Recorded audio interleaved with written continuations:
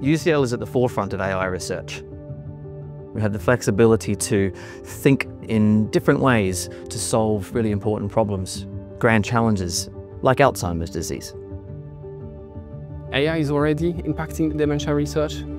Now, for the past probably six months or a year, everything has completely changed.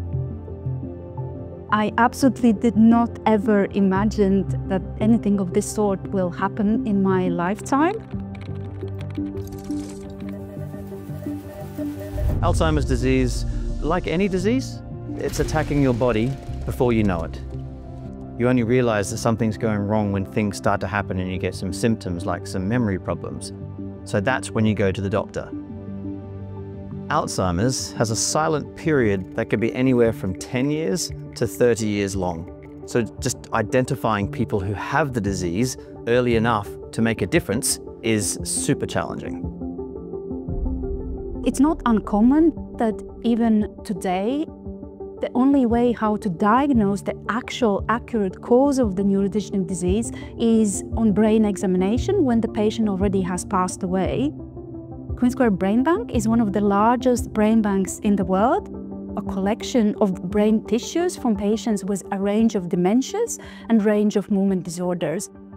So the Retail Isle Western uh, Brain platform we are developing right now is AI-driven modeling so that we can identify these specific disease groups in living patients with no question will hugely transform how we understand diseases and how we can improve the identification of the markers which will enable us diagnosing them, but then also identifying disease-modifying protein targeting uh, drugs. The most impressive thing about artificial intelligence is finding subtle signals that humans can't find or it takes too long for us to find. We came up with this algorithm called SUSTAIN for short, or subtype and stage inference. The aim of the algorithm is really to identify these subtypes and how they evolve over time. There are two main ways that algorithms like SUSTAIN can be clinically relevant. The first is by identifying the earliest changes of disease and how those vary between different individuals. The other way is by allowing us to give more personalised predictions of how someone's disease will evolve. It's kind of like trying to piece together a full movie from a whole bunch of frames, but there's gaps, and the modelling fills those gaps to work out what the trajectory is. We have a project of SUSTAIN on a local memory clinic uh, in Essex, where we're working with the radiologists there who read the brain scans and, and help with the diagnoses of these different dementias. And we're providing them with additional information that comes from the subtypes and the stages that we have in SUSTAIN. And this is helping them to make faster and more precise decisions. The main topic of our research is to understand how the brain age and how when the brain age it becomes susceptible to develop Alzheimer's disease. So we want to understand why it's that cell, but not this neighbor, actually affected by the disease process. And the reality is now, especially with the new AI tools, we can go much faster.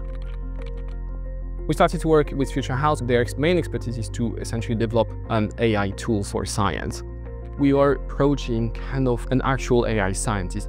We can actually provide data to an AI scientist, an AI agent, and it will churn the data, provide results, but then it can go further. We actually got the first result from an AI scientist that prompted us to do an experiment that we didn't plan to do.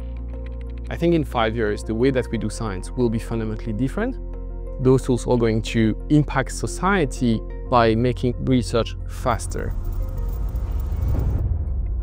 UCL has a long-standing tradition on embracing novel technologies and also taking these novel technologies into both research and clinical practice.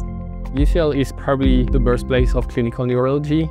I'm part of the UK Dementia Research Institute, but then we interact with clinical fellows at, at Queen Square as well as the Queen Square Brain Bank. And that is an absolutely unique environment for us to work on dementia.